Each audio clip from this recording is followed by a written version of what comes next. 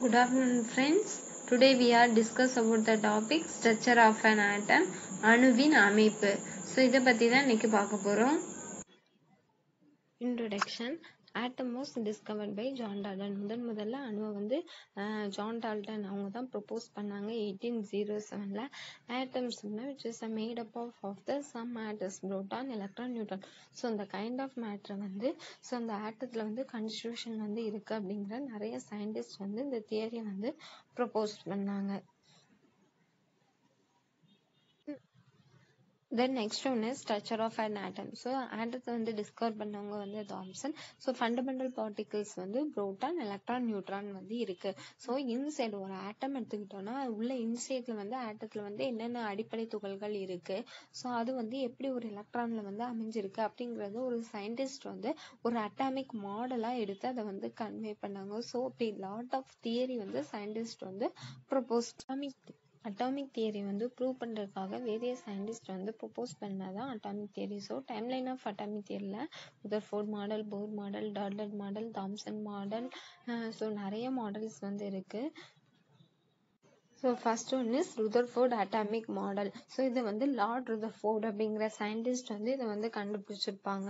So இதுக்கு வந்து கோல் Rutherford வந்து கோல்டு பிளேட் எக்ஸ்பிரிமெண்ட் வந்து யூஸ் பண்ணுவாங்க. ஸோ இதுக்கு வந்து கோல்டு ஃபாயிலை வந்து ஏற்படுத்துவாங்க. கோல்டு ஃபாயிலை வந்து ஒரு ஆல்ஃபா பார்ட்டிகிள் கூட எக்ஸ்போஸ் பண்ண வைப்பாங்க. அப்படி எக்ஸ்போஸ் பண்ணும்போது அதில் உள்ள ஆல்ஃபா பார்ட்டிகிள் வந்து இந்த கோல்டு ஃபாயிலில் வந்து ஊடுருவி உள்ள வந்து போகும். ஸோ இதில் வந்து கோல்டு ஃபாயிலை வந்து ஏன் சூஸ் பண்ணிப்பாங்க அப்படின்னா அது வந்து ரொம்ப தின் லேயர் பிளேட்டாக வந்து இருக்கிறதுனால இந்த கோல்டு ஃபாயிலை வந்து இந்த எக்ஸ்பிரிமெண்ட்க்கு வந்து சூஸ் பண்ணிப்பாங்க. ஸோ இதனால இந்த கோல்டு பிளேட் எக்ஸ்பிரிமெண்ட் அப்படின்னு சொல்லுவாங்க. ஸோ இந்த எக்ஸ்பிரிமெண்ட்ல ருதர்ஃபோர்ட் அப்பாரட்டஸ்ல வந்து கோல்டு ஃபைல் எடுத்திருப்பாங்க. ஸோ இது ஆல்ஃபா பட்டுக்களோட எக்ஸ்போஸ் பண்ணும்போது இதுல வந்து சில ஆல்ஃபா பட்டுக்கள் வந்து போன வழியிலே வந்து திரும்பி வந்துடும் சில ஆல்ஃபா பட்டுக்கள் வந்து நேர்கோட்டு பாதையில் அதாவது ஸ்ட்ரெயிட் லைன்ல வந்து டிராவல் ஆகும். சில ஆல்ஃபா பட்டுக்கள் வந்து வந்த பாதையிலே வந்து திரும்பிடைஞ்சு ஸ்லைட்லி வந்து டிஃப்ளெக்ட் ஆயிடும். ஸோ டிஃப்ளெக்ட் ஆனதுனால ஸோ இந்த மூணு இதையுமே இந்த ஆய்வின் மூலம் வந்து இந்த ருதர்ஃபோர்ட் தங்கத்தகடு சோதனை கோல்டு பிளேட் எக்ஸ்பிரிமெண்ட் மூலமா இதை வந்து ஃபைனல் பண்ணாங்க.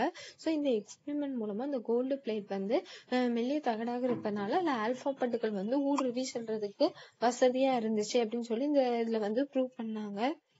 ஸோ இப்படி கண்டுபிடிச்ச இந்த ருதர்ஃபோர்ட் எக்ஸ்பெரிமெண்ட் மூலமா இந்த ருதர்ஃபோர்ட் ஆட்டத்தில் வந்து என்ன சொல்றாங்க அப்படின்னா சென்டர்ல வந்து இதுல வந்து நியூக்ளியஸ் அதாவது nucleus is the positively charged positive charge nucleus அதாவது நேர்மின் துகள்கள் வந்து காணப்பட்டது. மேலும் இந்த ஆட்டம்ஸ் வந்து ருதர்ஃபோர்ட் ஆட்டம் வந்து லார்ஜ்லி எம்டி ஸ்பேஸா இருக்கு வெற்றிடமா இருக்கு.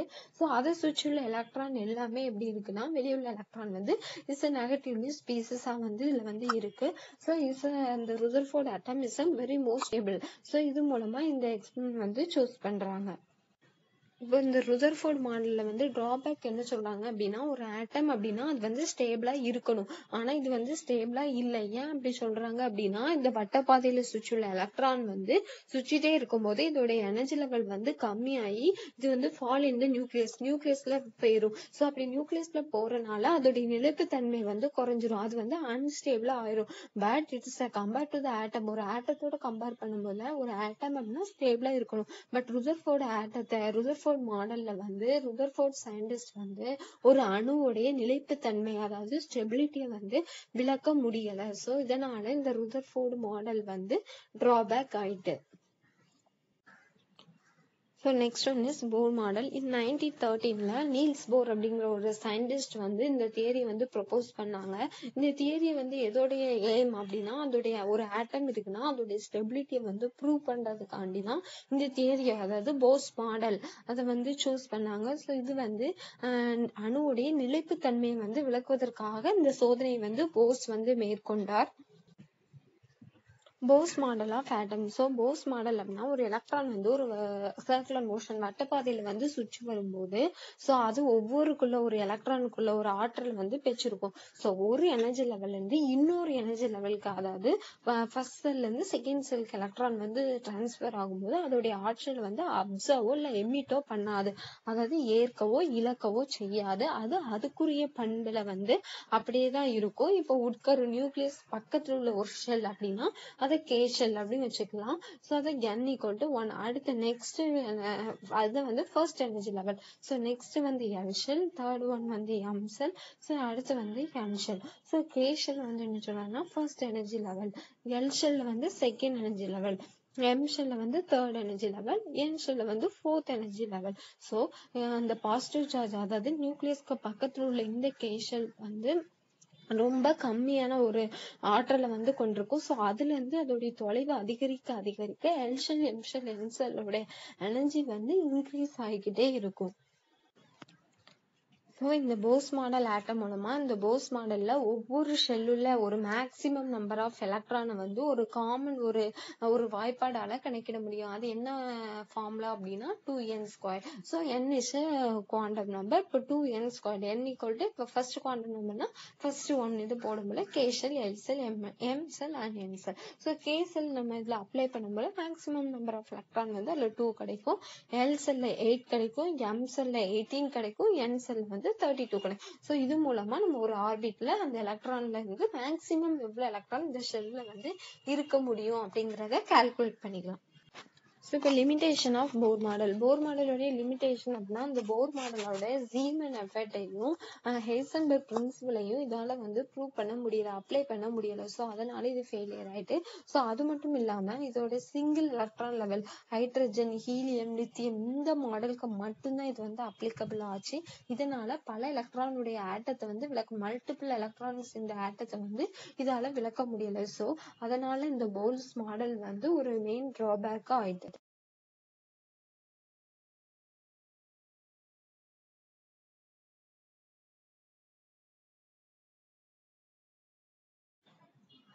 then next one is fundamental particle of atom இப்போ ஒரு ஆட்டம் எடுத்துக்கிட்டோம்னா அதனுடைய அடிப்படை துகள் தான் so fundamental particles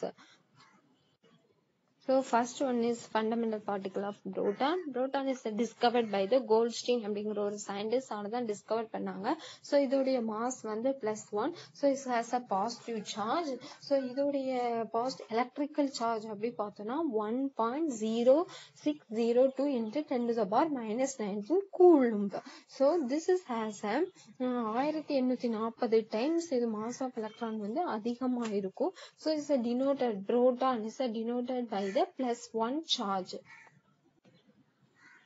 then second ஒன்று எலக்ட்ரான் எலக்ட்ரான் வந்து யார் டிஸ்கவர் பண்ணாங்க அப்படின்னா ஜே ஜே தாம்சன்கிற ஒரு scientist so electron has a negative charge அதாவது minus charge so minus V அப்படின்னு சொல்லணும். ஸோ இதோடைய எலக்ட்ரிக்கல் சார்ஜ் அப்படின்னு பார்த்தோம்னா பா negatively one point six zero two into ten the power minus nineteen coulomb இதோடைய மாஸ் வந்து nine point one into mg gram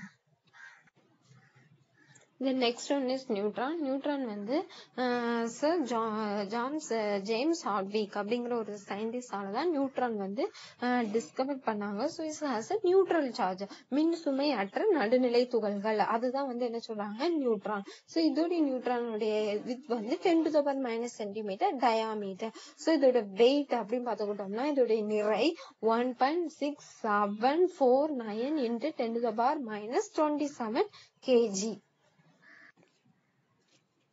next one atomic number atomic number அப்படின்னா அணு எண் அணு எண் ஈக்குவல் டு என்னன்னா புரோட்டான் எண் அப்படின்னு சொல்றாங்க. ஸோ நம்ம ஒரு அட்டாமிக் நம்பர் அப்படின்னா ஒரு ஷெல்ல வந்து எத்தனை புரோட்டான்ஸ் இருக்கோ அதுதான் வந்து atomic number so number of proton of the atom equal to number of atomic number so atomic number is denoted by the Z so இப்போ ஹைட்ரஜன்ல வந்து ஒரே ஒரு புரோட்டான் இருக்கு அப்படின்னா அதோடைய அட்டாமிக் நம்பர் வந்து one so atomic number equal to number of protons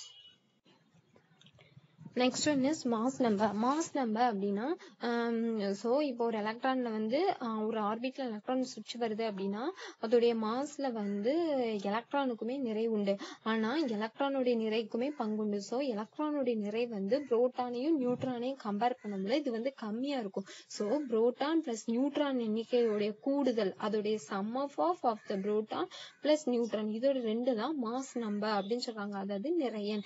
நிறையன் அப்படின்னா அணுயன் ஸோ புரோட்டானியன் பிளஸ் என்னது? ஆனியன் இதுதான் வந்து என்ன சொல்றாங்கன்னா மாஸ் நம்பர் இதில் ஃபர்ஸ்ட் ரூல் என்ன அப்படின்னா ஒரு எலக்ட்ரான் வந்து ஃபர்ஸ்ட் அதாவது lower energy to higher level ஒரு சின்ன ஒரு ஃபர்ஸ்ட் லெவல்ல இருந்து தான் ஏர் வரிசையில தான் அது வந்து நிரப்பணும். ஸோ ஃபர்ஸ்ட் லெவல்ல இருந்து செகண்ட் லெவலுக்கு தான் போகணும். ஸோ நெக்ஸ்ட் ரூல் ரெண்டாவது ரூல் என்ன அப்படின்னா ஒரு ஷெல்ல வந்து எத்தனை மேக்ஸிமம் நம்பர் ஆஃப் எலக்ட்ரான் வந்து இருக்கு அப்படிங்கறது ஒரு ஜென்ரலான ஒரு வாய்ப்பாடால கிடைக்கலாம் அதாவது two n square so n வந்து குவாண்டம் நம்பர் ஸோ இதுல ஒன் டூ த்ரீ அப்படி அப்ளை பண்ணும்போது அதுல எந்த ஷெல்ல ஃபர்ஸ்ட் ஷெல்ல எத்தனை எலக்ட்ரான் இருக்கு? ஸோ ஃபர்ஸ்ட் குவாண்டம் நம்பர் அப்படின்னு வந்து டிடெக்ட் பண்ணிக்கலாம். ஸோ தேர்ட் ஒன் வந்து என்னன்னா அதோடைய நியூக்ளியஸ்ல இருந்து அது செல்ல செல்ல அதோடைய ஆற்றலும் வந்து அதிகரிக்கும். ஸோ இப்போ நம்ம வந்து ஃபர்ஸ்ட் வந்து ரெண்டு எலக்ட்ரான் கேஷலுக்கு போயிட்டு அப்படின்னா second eight electron so next eight eight எலக்ட்ரானுக்கும் அபவ்ல இல்லாம இருக்கணும். ஸோ இதுதான் வந்து third rule so electron configuration what is electron configuration அப்படின்னா ஒரு எலக்ட்ரான் வந்து ஒரு வட்டப்பாதையில செல்லும் போது அது வந்து தனது எலக்ட்ரானை வந்து அந்தந்த செல்லுள்ள இதோட வந்து பங்கிட்டு கொள்ளும். ஸோ அப்படி ஷேர் பண்றதுக்கான ஒரு இதை தான் எலக்ட்ரான் பகிர்தல் அப்படின்னு சொல்றாங்க. ஸோ இப்படி அந்த வட்டப்பாதையில் எலக்ட்ரான் தங்களுக்குள்ள இதை வந்து ஷேர் பண்ணிக்கிறத வந்து பங்கீட்டுக்கான விதி அப்படின்னு சொல்றாங்க. ஸோ அதுல வந்து குறிப்பிட்ட ஒரு விதி மூலமா தான் அது வந்து நடக்கும். ஸோ இப்போ geometric representation of atomic structure so இது வந்து எப்படி வந்து அதில் அணுக்களை வந்து பங்கிடுது அப்படிங்கிறத பார்க்கலாம். ஸோ ஃபர்ஸ்ட் வந்து ஜாமெண்ட்ரிக் ரெப்ரசன்டேஷன் ஆட்டத்தில் ஃபர்ஸ்ட் எக்ஸாம்பிள் வந்து magnesium twelve twenty four first இதுக்கு புரோட்டா நம்பர் என்ன கண்டுபிடிக்கணும்? எலக்ட்ரான் எண் என்ன கண்டுபிடிக்கணும்? நியூட்ரான் எண் என்ன கண்டுபிடிக்கணும்? ஸோ ஃபர்ஸ்ட் நம்ம இந்த இதை ட்ரா பண்ணி வச்சுக்கணும் இந்த ஆற்றலோட மட்டத்தில். ஸோ ஃபர்ஸ்ட் வந்து நியூக்ளியஸ் நியூக்ளியஸ்னா என்ன இருக்கும் பார்த்தோம்? Proton plus neutron so first proton எவ்வளோன்னு கண்டுபிடிக்கணும்? நியூட்ரான் ஸோ நமக்கு புரோட்டான் நம்பர் தெரியும். Number of proton equal to number of so அடுத்தது நியூட்ரான் எண் வந்து கண்டுபிடிக்கணும். ஸோ நியூட்ரான் எண் வந்து என்னது? நிறைய எண் மைனஸ் அணு எண். ஸோ நம்ம இப்படி கண்டுபிடிக்கணும்? நியூட்ரான் எண் கிடைக்கும் ஸோ இதை தான் நியூக்ளியன் ஸோ அதுக்குள்ள பாக்ஸ்ல போட்டுடணும். ஸோ இப்போ நம்ம எலக்ட்ரான் நம்பர் கண்டுபிடிச்சு வச்சுக்கணும். ஸோ இப்போ எலக்ட்ரான் நம்பர் வந்து நமக்கு டுவெல் ஸோ இப்போ டுவெல்ல வந்து ஃபர்ஸ்ட் ரெண்டு எலக்ட்ரான் டூ என் ஸ்கொயர் இந்த ஃபார்முலா படி ஃபர்ஸ்ட் ரெண்டு எலக்ட்ரான் வந்து எங்க போயிரும் அப்படின்னா கேஷன்ல. ஸோ நெக்ஸ்ட் வந்து என்னதுன்னா டென் எலக்ட்ரான்ஸ் இருக்கும். டுவெல்ல வந்து டூ போயிட்டுனா நெக்ஸ்ட் டென் இருக்கும். ஸோ அந்த டென்ல நெக்ஸ்ட் எயிட் வந்து எங்க போகும் அப்படின்னா எல்ஷன்ல ஏன்னா நம்ம ரூல் பார்த்தோம் எட்டுக்கும் அபோவ்ல இல்லாம இருக்கணும் சார் அடுத்த எட்டு அங்க போயிடும் மிச்ச பேலன்ஸ்ல எட்டு ரெண்டு பத்து மிச்சம் டுவெல்க்கு டூ இருக்கு ஸோ அது வந்து எம்ஷனுக்கு போயிடும் ஸோ இப்போ இதோடைய configuration two eight two next one is valence electron valence electrons அப்படின்னா இணைதிறன் எலக்ட்ரான் ஸோ இணைதிறன் எலக்ட்ரான் அப்படின்னா வெளிக்கூட்டு அமைப்பில் உள்ள எலக்ட்ரான்களின் எண்ணிக்கை தான் வேலன்ஸ் எலக்ட்ரான் அல்லது இணைதிறன் எலக்ட்ரான் எனப்படும். வேலன்ஸ் எலக்ட்ரான்னா அவுட்டர் ஷெல் ஆஃப் எலக்ட்ரான் இப்போ ஒரு ஆர்பிட் இருக்கு. எலக்ட்ரான் சுவிட்ச் ஆர்பிட்ல ஸோ அவுட்டர்ல அவுட்டர்ல வந்து எத்தனை எலக்ட்ரான் இருக்கோ அவுட்டர் ஷெல்ல எத்தனை எலக்ட்ரான் இருக்கோ அதுதான் இணையதிறன் இணைதிறன் எலக்ட்ரான் ஸோ இந்த most valence electrons chemical property இதை வச்சு தான் கெமிக்கல் ப்ராப்பர்ட்டியுமே டிசைட் பண்றாங்க. ஸோ இப்போ நோபல் கேஸ் அந்த ரைட் சைடு அந்த நமக்கு ஜா- அந்த பீரியட் டேபிள பார்த்தா ரைட் சைடுல இருக்கும். ஸோ இது எல்லாமே இன்னட் ஸோ இன்னட் அப்படின்னா to not react with other atom so ஆட்டத்து கூட எதுவுமே வந்து ரியாக்ட் பண்ண மந்தமா இருக்கும். சோ இதை தான் என்ன சொல்றாங்கன்னா வேலன்சி பேலன்ஸ் எலக்ட்ரான் இணைதிறன் எலக்ட்ரான் அப்படின்னு சொல்றாங்க. Thank you